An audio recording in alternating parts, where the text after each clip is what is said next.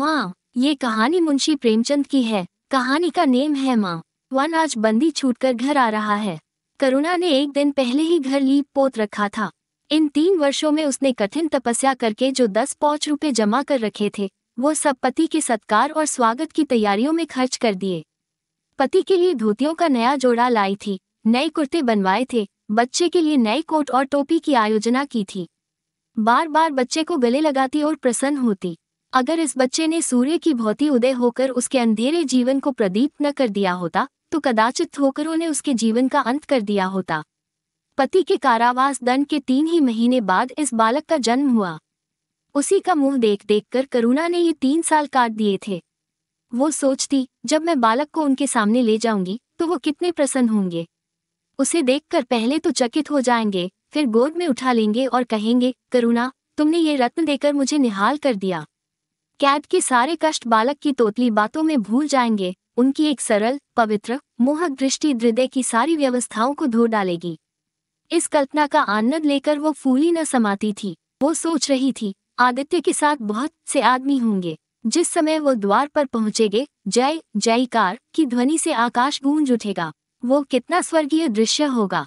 उन आदमियों के बैठने के लिए करुणा ने एक फटा सा टाट बिछा दिया था कुछ पान बना दिए थे और बार बार आशा में नेत्रों से द्वार की ओर ताकती थी। पति की वो सुदृढ़, उदार, तेजपूर्ण मुद्रा बार बार औखों में फिर जाती थी। उनकी वे बातें बार बार याद आती थी, जो चलते समय उनके मुख से निकलती थी। उनका वह धैर्य, वो आत्मबल, जो पुलिस के प्रहारों के सामने भी अटल रहा था, वो मुस्कराहट जो उस समय भी उनके अधरों पर खेल रही थी, वो आत्माभिमान जो उस समय भी उनके मुख से टपक रहा था। क्या करुणा के हृदय से कभी विस्मृत हो सकता था? उसका स्मरण आते ही करुणा के निस्तेज मुख पर आत्मगौरव की लालिमा छा गई। यही वो अवलंब था, जिसने इन तीन वर्षों की घोर यातनाओं में भी उसके हृदय को आश्वासन दिया था। कितनी ही रातें फाकों से गुजरी, बहुधा घर में दीपक जलने की नौबत भी न आती थी, पर दीनता के आँसू कभी उसकी आँखों से न गिरे। आज उन सारी विपत्तियों का अंत हो जाएगा। पति के प्रगाढ़ आलिंगन में वो सब कुछ हंसकर झेल लेगी। वो अनंत निधि पाकर फिर उसे कोई अभिलाषा न रहेगी। गगन पथ का चिरगामी लपका हुआ विश्राम की ओर चला जाता था, जहाँ संध्या ने सुनहरा फर्श सजाया था और उज्जवल पुष्पों की सेज बिछा रखी थी। उसी समय करुणा को एक आदमी लाठी टेकता आता दिखाई दिया। मानो किसी जीर्ण मनुष्य की वेदना ध्वनि हो। पग पग पर रुककर खांसने लगता थी। उसका सिर झुका हुआ था। करुणा उसका चेहरा न देख सकती थी। लेकिन चाल ढाल से कोई बूढ़ा आदमी मालूम होता था। पर एक क्षण में जब वो समीप आ गया तो करुणा पहचान गई। वो उसका प्यारा पति ही था, किंतु शोक, उसकी सूरत कितनी बदल गई थी। वो जवानी, वो तेज, वो चपलता, वो सुगठन, सब प्रस्थान कर चुका था। केवल हड्डियों का एक ढौचा रह गया था। न कोई संगी, न साथी, न यार, न दोस्त, करुणा उसे पहचानते ही बाहर निकल आई, पर आलिंगन की कामना हृदय में दबाकर रह गई। सारे मंसूबे धूल में मिल गए, सारा मनोलास औसुओं के प्रवाह में बह गया, विलीन हो गया।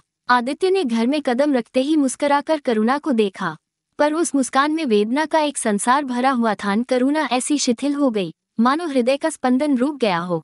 वो फटी हुई आँखों से स्वामी की ओर टकटकी बौंदे खड़ी थी, मानो उसे अपनी आँखों पर अब भी विश्वास न आता हो। स्वागत या दू, ख का एक शब्द भी उसके मुँह से न निकला। बालक भी गोद में बैठा हुआ सहमी औखे से इस कंकाल को देख रहा था और माता की गोद में चिपटा जाता था। आखिर उसने कातर स्वर में कहा ये तुम्हारी क्या दशा है? बिल्कुल पहचाने नहीं जाते। आदित्य ने उसकी चिंता को शांत करने के लिए मुस्कुराने की चेष्टा करके कहा, कुछ नहीं, जरा दुबला हो गया हूँ। तुम्हारे हाथों का भोजन पाकर फिर स्वस्थ हो जाऊँगा। करुणा, छी, सूख कर कांटा हो गए। क्या वहाँ भरपेट भोजन नहीं मिला? तुम कहते थे राजनीतिक आदमियों के साथ बड़ा अच्छा व्यवहार किया जाता है और वो तुम्हारे साथ ही क्या हो गए जो तुम्हें आठों पहर घेरे रहते थे और तुम्हारे पसीने की जगह खून बहाने को तैयार रहते थे? आदित्य की त्योरियों पर बल पड़ गए। बोले, ये बड़ा ही कटु अनुभव है, करुणा। मुझे न मालूम था कि मेरे कैद होते ही लोग मेरी ओर से यो औखे फेर लेंगे। कोई बात भी न पूछेगा। राष्ट्र के नाम पर मिटने वालों का यही पुरस्कार है। ये मुझे न मालूम था। जनता अपने सेवकों को बहुत जल्द भूल जाती है। ये तो मैं जानता था। लेकिन अपने सहयोगी और सहायक इतने बेवफा होते हैं। इसका मुझे ये पहला ही अनुभव हुआ। लेकिन मुझे किसी से शिकायत नहीं। सेवा स्वयं अपना पुरस्कार है। मेरी भूल थी कि मैं इसके लिए यश और नाम चाहता था। करुणा तो क्या वहाँ भोजन भी न मिलता था? आदित्य, यह न पूछो करुणा, बड़ी करुण कथा है। बस, यही गनीमत समझो कि जीता लौट आया। तुम्हारे दर्शन बदे थे। नहीं कष्ट तो ऐसे ऐसे उठाए कि अब तक मुझे प्रस्थान कर जाना चाहिए था। मैं जरा लेटनगा खड़ा नहीं रहा जाता। दिन भर में इतनी दूर आया हूँ। करुणा, चलकर कुछ खा लो तो आराम से लेटो। बालक को गोद में उठाकर, बाबूजी है बेटा, तुम्हारे बाबूजी। इनकी गोद में जाओ, तुम्हें प्यार करेंगे। आदित्य ने औसू भरी औखों से बालक को देखा और उनका एक एक रोम उनका तिरस्कार करने लगा। अपनी जीर्ण दशा पर उन्हें कभी इतना दुख न हुआ था। ईश्वर की असीम दया से यदि उनकी दशा संभल जाती तो वो फिर कभी राष्ट्रीय आंदोलन के समीप न जाते। इस फूल से बच्चे को यो संसार में लाकर दरिद्रता की आग में झोंकने का उन्हें क्या दिख रहा था? वो अब लक्ष्मी की उपासना करेंगे और अपना क्षुद्र जीवन बच्चे के लालन पालन के लिए अपिर्त कर देंगे। उन्हें इस समय ऐसा ज्ञात हुआ कि बालक उन्हें उपेक्षा की दृष्टि से देख रहा है। मानो कह रहा है, मेरे साथ आपने कौन सा कर्तव्य पालन किया?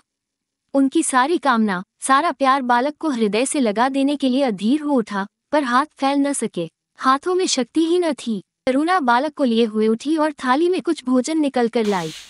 आदित्य ने क्षुधापूर्ण नेत्रों से थाली की ओर देखा। मानो आज बहुत दिनों के बाद कोई खाने की चीज़ सामने आई है। जानता था कि कई दिनों के उपवास के बाद और आरोग्य की इस कई गुजरी दशा में उसे जबान को काबू में रखना चाहिए, पर सब्र न कर सका। थाली पर टूट पड़ा और देखते देखते थाली साफ़ कर दी। करुणा सशंक हो गई। उसने दोबारा किसी चीज़ के लिए न पूछा।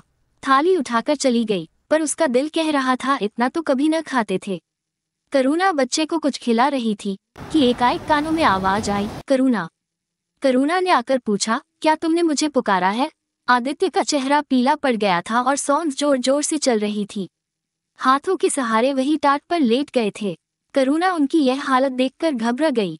बोली, जाकर किसी वैद्य को बुला लाऊं? आदित्य ने हाथ के इशारे से उसे मना करके कहा, व्यर्थ है करुणा। अब तुमसे छिपाना व्यर्थ है, मुझे तपेदिक हो गया है। कई बार मरते मरते बच गया हूँ। तुम लोगों के दर्शन बदे थे, इसलिए प्राण न निकलते थे। देखो प्रिय, रो मत। करुणा ने सिस्कियों को दबाते हुए कहा, मैं वैद्य को लेकर अभी आती हूँ। आदित्य ने फिर सिर हिलाया, नहीं करुणा, केवल मेरे पास बैठी रहो। अब किसी से कोई आशा नहीं है। डॉक्टरों ने जवाब दे दिया है। मुझे तो यह आश्चर्य है कि यहाँ पहुँच कैसे गया। न जाने कौन दैवी शक्ति मुझे वहाँ से खींच लाई कदाचित यह इस बुझते हुए दीपक की अंतिम झलक थी। आ, मैंने तुम्हारे साथ बड़ा अन्याय किया। इसका मुझे हमेशा दुख रहेगा। मैं तुम्हें कोई आराम न दे सका। तुम्हारे लिए कुछ न कर सका। केवल सुहाग का दाग लगाकर और एक बालक के पालन का भार छोड़कर चला जा रहा हूँ। आ, करुणा ने हृदय को दृढ़ करके कहा, तुम्हें कहीं दर्द तो नहीं है? आग बना लाऊं? कुछ बताते क्यों नहीं? आदित्य ने करवट बदलकर कहा, कुछ करने की ज़रूरत नहीं प्रिय। कहीं दर्द नहीं। बस, ऐसा मालूम हो रहा है कि दिल बैठा जाता है, जैसे पानी में डूबा जाता हूँ। जीवन की लीला समाप्त हो रही है। दीपक को बुझते हुए देख रहा हूँ। कह नहीं सकता, कब आवाज़ बंद हो जाए। जो कुछ कहना है, वो कह डालना चाहता हूँ, क्यों वो लालसा ले जाऊँ? मेरे एक प्रश्न का जवाब दोगी, पूछूँ? करुणा के मन की सारी दुर्बलता, सारा शोक, सारी वेदना मानो लुप्त हो गई और उनकी जगह उस आत्मबल का उदय हुआ। करुणा ने पति के सिर पर हाथ रखते हुए कहा पूछते क्यों नहीं प्यारे? आदित्य ने करुणा के हाथों के कोमल स्पर्श का अनुभव करते हुए कहा, तुम्हारे विचार में मेरा जीवन कैसा था? बधाई के योग्य, देखो, तुमने मुझसे कभी पर्दा नहीं रखा। इस समय भी स्पष्ट कहना, तुम्हारे विचार में मुझे अपने जीवन पर हंसना चाहिए या रोना चाहिए? करुणा ने उल्लास के साथ कहा, ये प्रश्न क्यों करते हो प्रियतम? क्या मैंने तुम्हारी उपेक्षा कभी की है? तुम्हारा जीवन देवताओं का सा जीवन था नी स्वार्थ, निर्लिप्त और आदर्श। विघ्न बाधाओं से तंग आकर मैंने तुम्हें कितनी ही बार संसार की ओर खींचने की चेष्टा की है, पर उस समय भी मैं मन में जानती थी कि मैं तुम्हें ऊँचे आसन से गिरा रही हूँ। अगर तुम माया मोह में फंसे होते तो कदाचित मेरे मन को अधिक संतोष होता, लेकिन मेरी आत्मा को वो गर्व और उल्लास न होता, जो इस समय हो रहा है। मैं अगर किसी को बड़े से बड़ा आशीर्वाद दे सकती हूँ तो वो यही होगा कि उसका जीवन तुम्हारे जैसा हो। ये कहते कहते करुणा का आभाहीन मुखमंडल जयोतिर्मय हो गया। मानो उसकी आत्मा दिव्य हो गई हो। आदित्य ने सगव नेत्रों से करुणा को देखकर कहा, बस, अब मुझे संतोष हो गया। करुणा, इस बच्चे की ओर से मुझे कोई शंका नहीं है। मैं उसे इससे अधिक कुशल हाथों में नहीं छोड़ सकता। मुझे विश्वास है कि जीवन भर यह ऊर्जा और पवित्र आदर्श सदैव तुम्हारे सामने रहेगा। अब मैं मरने को तैयार हूँ। इसके आगे क्या हुआ? इसके लिए आपको नेक्स्ट पार्ट सुनना होगा।